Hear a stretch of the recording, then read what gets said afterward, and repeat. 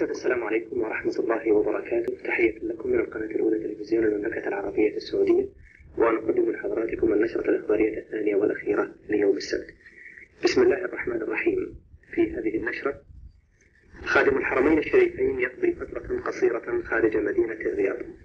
خادم الحرمين الشريفين يأمر بتحويل مبلغ 50 مليون دولار للحكومة التونسية إسهاما من المملكة في مواجهة النفقات المترتبة على عمليات الإغاثة إثر التي لحقت بتونس. نيابة عن خادم الحرمين الشريفين سمو أمير منطقة مكة المكرمة في النيابة يفتتح اليوم أعمال الدورات السنوية لمجالس رابطة العالم الإسلامي. الاحتفال بانطلاقة المرحلة الأولى لقافلة التوعية السعودية لمكافحة المخدرات. منظمة التحرير الفلسطينية تتسلم اليوم القسطين الحادي عشر والثاني عشر من التزامات المملكة لدعم انتفاضة الشعب الفلسطيني. الرئيس اليمني علي عبد الله صالح يواصل زيارته للولايات المتحدة ويجتمع إلى الأمين العام للأمم المتحدة. عودة الهدوء إلى مناطق الحدود بين جمهوريتي أذربيجان وأرمينيا السوفيتيتين وتصاعد موجة الاحتجاجات على التدخل العسكري السوفيتي في أذربيجان. بحفظ الله ورعايته سوف يقضي خادم الحرمين الشريفين الملك فهد بن عبد العزيز آل سعود أيده الله فترة قصيرة تستغرق أسبوعا خارج مدينة الرياض. رافقته السلامة وحفظه الله في حله وترحاله. بعث خادم الحرمين الشريفين الملك فهد بن عبد العزيز آل سعود ببرقية إلى فخامة الرئيس التونسي زين العابدين بن علي هذا نصها. صاحب الفخامة الأخ الرئيس زين العابدين بن علي رئيس الجمهورية التونسية تونس. لقد تأثرت عندما علمت بهذه الأضرار التي لحقت الشقيقة من جراء السيول التي تسببت في هدم عدد من المنازل وأودت بحياة عدد من المواطنين التونسيين. وإنني إذا ثم ألقى صاحب السمو الملكي الأمير سعود بن عبد المحسن كلمة أوضح فيها أن هذه الدورات تأتي في وقت ما تزال الأحداث فيه تتفاعل على المستوى العالمي حيث تشهد الساحة الإسلامية صحوة واعية تتجمع فيها القوى الإسلامية العودة الصحيحة إلى كتاب الله.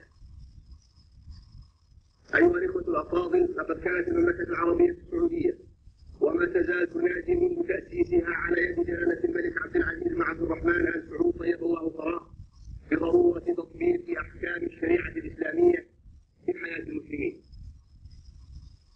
باعتبار أن هذا التطبيق هو الطريق الأوحد والأمثل لإنقاذ المسلمين في أوحال الحضارة المادية الملحدة التي سلفت الأمم قيمها ومثلها بل وآدميته. إن أمام دوراتكم إن أمام دوراتكم هذه قضايا ومشكلات وتحديات للوجود الإسلامي في كل في كل مكان. أكثريات وأقليات. أكثريات وأقليات. وإنه رغم وإنه رغم الإرهاصات المبشرة بنمو الصحوة الإسلامية.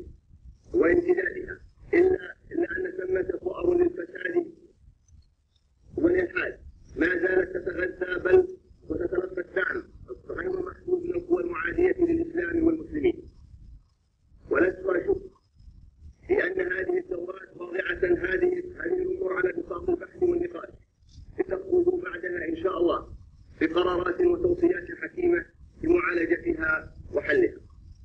وإذا كنا في المملكة العربية السعودية كما قلت سالفا ننظر إلى العلماء نظرة متميزة فإنه يشرفني أن أنقل لكم تأمين وتدعيم خادم الحرمين الشريفين الملك فهد بن عبد العزيز بكل ما من شأنه أن يحقق لهذه الأمة الماجدة ولدينها الحنيف وتطلعاتها في مستقبل إسلامي مشرق عزيز. بعد ذلك ألقى سماحة الرئيس العام للمجلس التأسيسي لرابطة العالم الإسلامي ورئيس المجلس الأعلى العالمي للمساجد ورئيس المجمع الفقهي في رابطة العالم الإسلامي الشيخ عبد العزيز بن عبد بن باز كلمة أشار فيها إلى أهمية هذه المجالس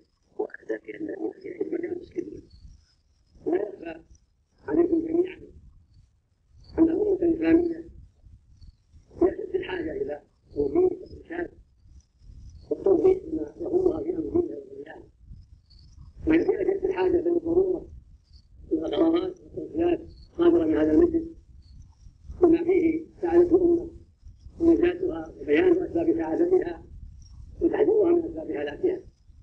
وهكذا الأمور الاخرى غير الاسلاميه بحاجه إلى الدعوه إلى الله والى من يأخذ بأيديها إلى شارع السلامة والى من يوقظها من الظلمات إلى النور ثم ألقى فخامة الرئيس مأمون عبد القيوم رئيس جمهورية المالديف وعضو المجلس التأسيسي لرابطة العالم الإسلامي كلمة الأعضاء أوضح فيها أن السياسة الحكيمة التي تنتهجها حكومة المملكة العربية السعودية والجهود التي تبذلها بقيادة خادم الحرمين